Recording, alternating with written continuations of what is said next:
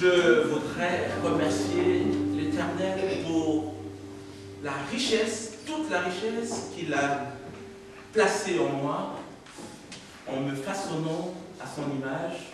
J'existe parce que je suis riche de lui. Nzolele Futula Matondo.